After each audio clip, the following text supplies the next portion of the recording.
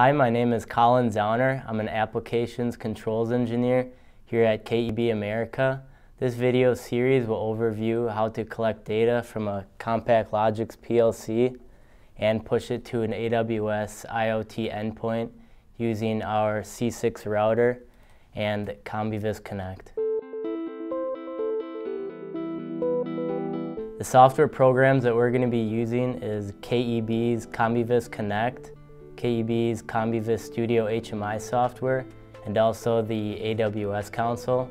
All the AWS services that we're going to be using are in the free tier program, so before you start following along with this video, make sure you set up a account for yourself. To get started, we're going to log into the AWS console and start to configure the AWS services. First, Log into the AWS console and choose the AWS IoT service.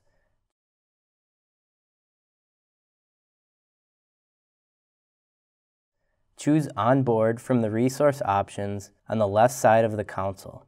We'll be configuring the C6 router using the AWS Connection Wizard.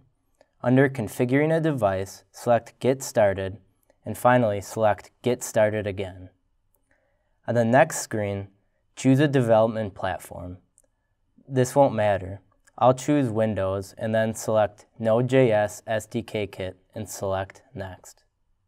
AWS calls all devices in the cloud things. Things are simply records of your physical devices connected to the cloud. In this case, I'll just use the name C6 Router Demo. When you are finished naming the thing, download the connection kit to your machine. This will include the security certificates required to publish messages to the AWS cloud. If you want, you can run a script to test your connection. For now, I'll skip this and move on. To see the newly created thing, select Manage and Things. Take note of the HTTP endpoint that the router will be publishing data to.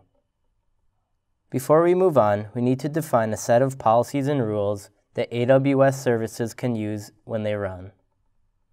Let's go to the IAM Management Console and create a role that will give the AWS IoT, AWS DynamoDB, and CloudWatch full access to our project. In a production environment, you may want to limit the policies further to increase security and protect from mistakes.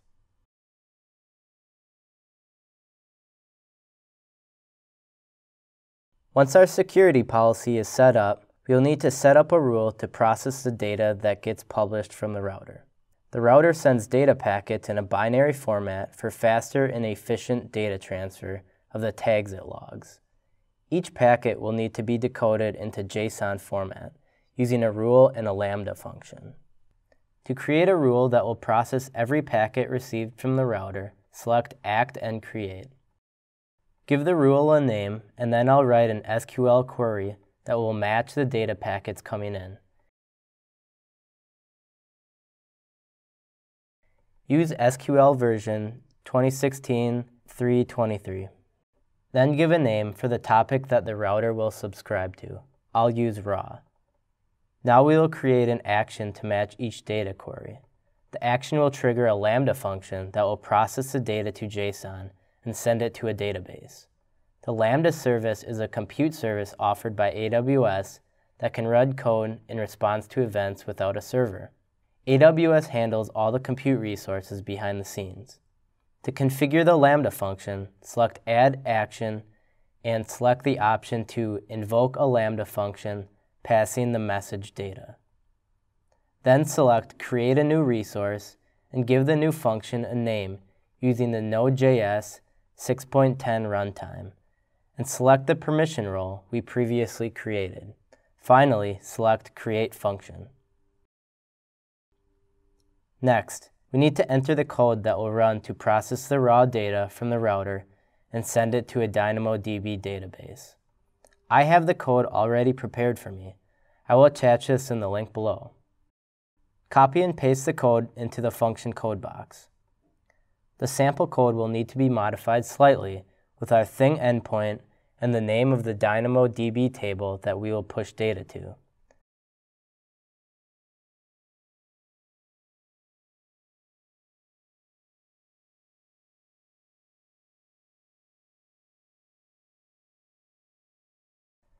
Copy the thing URL and paste it in the script.